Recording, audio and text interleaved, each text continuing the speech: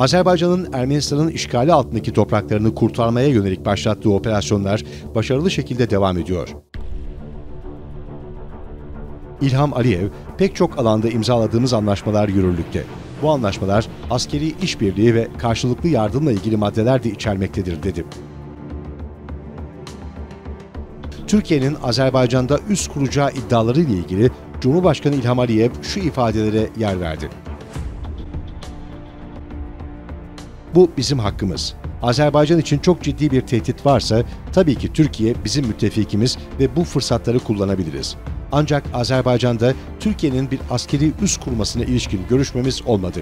Askeri işbirliğimizin her geçen yıl güçlendiğini söylüyorum. Yalnızca geçen yıl 10 ortak askeri tatbikat yaptık. Bu yıl koronavirüs nedeniyle kısa bir ara verildi ve sadece iki askeri tatbikat düzenlendi. Ancak bu askeri tatbikatlar bölgemizde de büyük endişeye neden oldu. Bence bu endişeye gerek yok. Çünkü bu tatbikatlar hiçbir ülkeye karşı hazırlık tatbikatı değildir. Bu tatbikatlar askeri işbirliğimizi güçlendirmeyi, Azerbaycan ordusunu iyileştirmeyi, Türk ordusunun kriterlerine yaklaştırmayı ve Türkiye'nin askeri alanındaki olumlu deneyiminden faydalanmayı amaçlamaktadır. Bu nedenle Eylül sonundan bu yana Türk askeri üssü hakkında uluslararası medyada çok fazla bilgi var. Bunun dayanağı yoktur. Türkiye-Azerbaycan işbirliği o kadar güçlü, o kadar geniş kapsamlı ki her an birbirimize yakınız. Üssümüz olsun ya da olmasın. Türkiye'ye güveniyoruz ve Türkiye de bize güveniyor, dedi. Aliyev, hemen hemen her yerden sadece bu dönemde değil, öncekilerde ve bize yöneltilen mesajlarda bu sorunun askeri bir çözümü olmadığı yönündeydi. Vaktinden önce tepki vermedik, öyle desinler dedik. Bu onların görüşü ve bizim fikrimiz bu sorunun sadece barışçıl bir şekilde çözülmesi gerektiğidir. Ama ne görüyoruz? Bu yol 30 yıldır işe yaramadı. Ermenistan 30 yıldır bu toprakları işgal altında tutmaya çalıştı. Şu anda sorunu askeri yollarla çözme sürecinde olduğumuzu söyledim. Bu aşamanın bir an önce bitmesini istiyoruz ve daha sonra diplomatik aşama başlıyor. Yani yaklaşımımız bu sorunu askeri ve politik yollarla çözmek. Tek başına askeri yollarla çözülemez. Kabul ediyorum. Çünkü çatışmanın aktif aşamasından sonra taraflar bir barış anlaşması düşünmeli ve bunu yapmalıdır. Yani siyasi yollar olacak. Bu nedenle askeri ve politik yol en kabul edilebilir yoldur.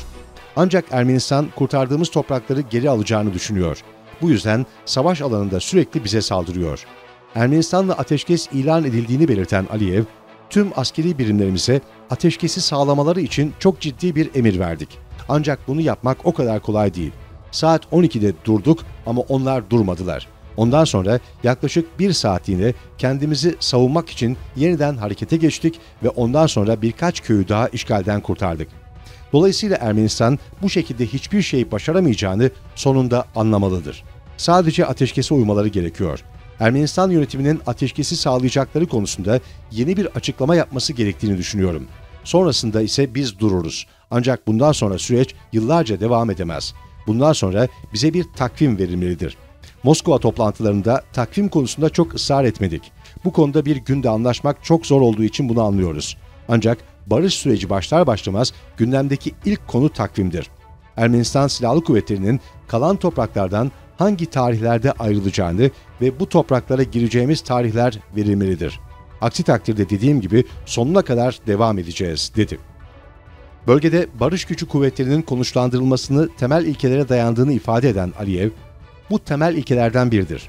Ancak bu sürecin son aşamasında bu sorunun çözülmesi gerekiyordu. Temel ilkelerin kabul edilmediği göz önüne alındığında bunlar hala sadece bir tartışma konusu. Bu konu hakkında yorum yapmanın ne kadar doğru olabileceğini bilmiyorum.